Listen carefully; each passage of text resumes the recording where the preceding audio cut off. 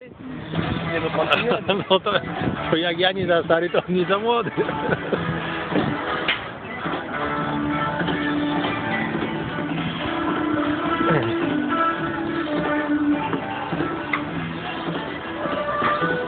Ja będę filmował jak